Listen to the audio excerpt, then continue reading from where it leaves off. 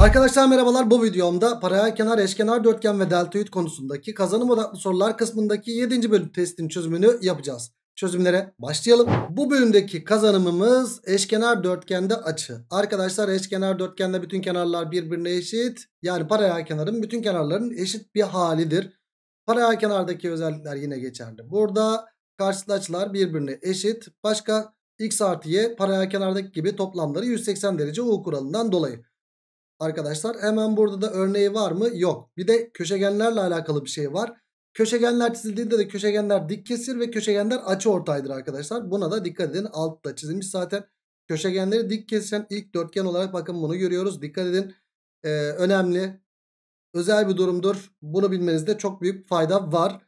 Ee, hemen aşağıda örnek sorusu var. Böyle arkadaşlar örnek sorusu da çözümü de var. Zaten biz hemen isterseniz çözümlere başlayalım. Eşkenar dörtgen Hemen ne yapıyoruz? Bütün kenarların eşitlerini şöyle gösteriyoruz. Bak x kenarlık çıkıverdi. E hocam karşılıklı kenarlar birbirine paralel. Z'den dolayı burası 70 derece yaptım yaptı. E 70 ise x kenarlıktan burası da 70. 70 70 140'tan burada kaç kaç derece oldu? 40 derece oldu. Birinci soru Balıkesir oldu. Geldik ikinci soruya. Bu bir eşkenar dörtgen. Şu AE ile şu birbirine eşit verilmiş. O zaman buradaki eşitliği kullanacağım. Arkadaşlar eşkenar dörtgende şu Köşegenler açı ortay değil miydi? Yani 52 ise burası da ne olacaktır? 52 derece olacaktır. E hocam ikizkenarlıktan dolayı o zaman burası da 52 derece yapar. E buradaki açı da 52 derece ise şu açıyı x'i bulmak için hamle yapacağım. İsterseniz şöyle m kuralından yapabilirsiniz. 52 52 ve şurayı bulup da ama isterseniz buradaki açı kaç derece? 100, 104 derece. O zaman 104 ise burası 180'e tamamlayan açısı 76 derece değil midir? Yani 52 artı x eşittir 76 olacağından X de buradan kaç çıkar? 24 derece olarak bulunur arkadaşlar. İkinci soru böylelikle Edremit oldu. Geldik üçüncü soruya. ABCD eşkenar dörtgen demiş. Sonra burası 70 derece verilmiş. Şunlar da birbirine eşit verilmiş. Alfa kaç derecedir diye soruluyor arkadaşlar bize. Öncelikle köşegenler açı ortay değil miydi arkadaşlar? Şurada bir köşegen çizilmiş. Aa burası 70 ise burası kaç derece olacaktır? 180'e tamamlayanı 110 derece. O zaman bunlar 55'er derece oldu. E hocam 55 ise x kenarlıktan dolayı buradaki açı da 55'tir. 55 55 110. Buraya da kaç derece kaldı o zaman? 70 derece kaldı. O zaman 3. soru denizli oldu. Geldik 4. soruya. Şurada bir x kenarlık verilmiş ama dikkat edin bu eşkenar dörtgenin bir kenarı verilmiş çift çizgi. E burası da çift çizgi, burası da çift çizgi. Şuradaki uzunluk da çift çizgi. Bak ne çıktı burada? İkizkenar üçgen çıktı burada. O zaman buradaki ikizkenarlığı kullanacağım ben. Şimdi şuraya bakacak olursak 38, 32 daha kaç? 70 derece. O zaman burası da 70'tir. 70, 70, 140'tan buraya kaç derece kaldı? 40 derece kaldı. Sonra şu doğrusal mı? Bunu iyice anlamak lazım. AED açısı, AED açısı bir de DEB açısı. DEB veya DEC demiş olsaydı şu EBC'nin doğrusallığından bahsedebilirdik arkadaşlar. E, o zaman doğrusal değil.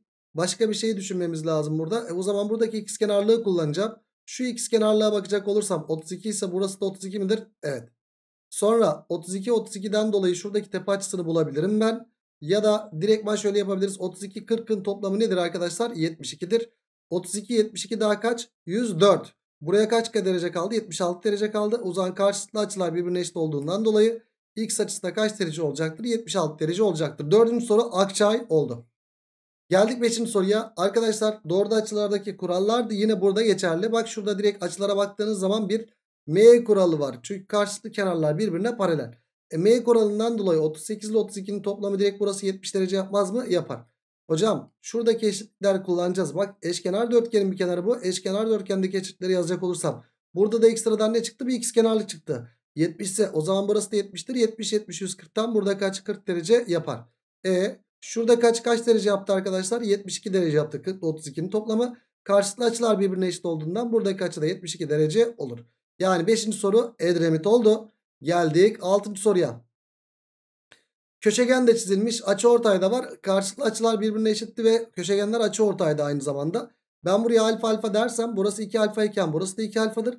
Hatta karşılıklı açılar birbirine eşit. E o zaman burası da 2 alfa burası da 2 alfa olmaz mı? Olur. E hocam şuradaki üçgene bakacak olursak alfayı bulabiliriz biz. Buradaki üçgende 3 alfa ile 150'nin toplamı eşittir 180 değil mi? Evet 3 alfa artı 150 eşittir 180 olduğundan dolayı buradan 3 alfa eşittir 30 olacağından alfayı da buradan kaç buluruz? 10 derece olarak buluruz. Madem alfa 10 derece burası kaç derece yaptı o zaman? 4 alfa yani 40 derece. E burası 40 ise 180'e tamamlamıyor mu x'te? Yani burası da 140 derece olacaktır. Dolayısıyla 6. soru Akçay oldu. Geldik 7. soruya. Aşağıdaki yere geçidin iki tarafında yer alan özdeş tabelalar eşkenar dörtgen biçiminde olup yere dik konumlu direklere iki ucundan sabitlenmiştir. Peki sonra ne olmuş? Sonra şu şekilde gelmiş. Tabelalar A ve B köşeleri etrafında ok yönde eşit miktarda döndürüldüğünde birer kenarları çakışarak 140 derecelik açı oluşturmuş.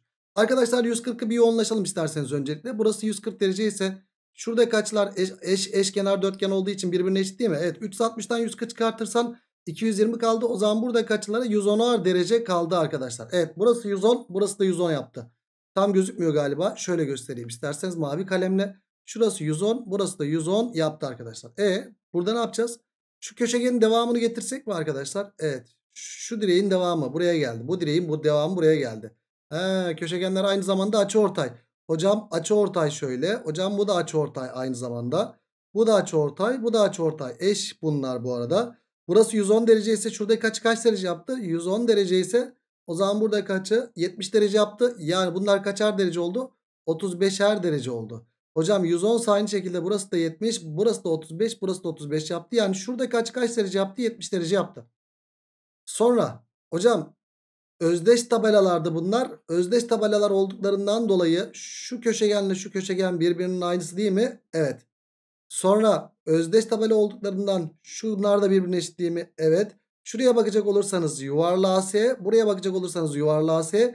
Burada bir ikizkenar üçgen mi oluşturdu? Ve tepe açısı kaç derece? 70 derece olan ikizkenar üçgen. 180'den 70 çıkart 110. 2'ye böl 55 55 yapar buradaki açılar. Dolayısıyla cevap böylelikle Edremit oldu. Ve o zaman 7. bölüm testini bitirmiş bulunuyoruz. O zaman ne diyoruz? Bir sonraki videoda 8. bölüm testinde görüşmek dileğiyle. Kendinize iyi bakın. Hoşçakalın.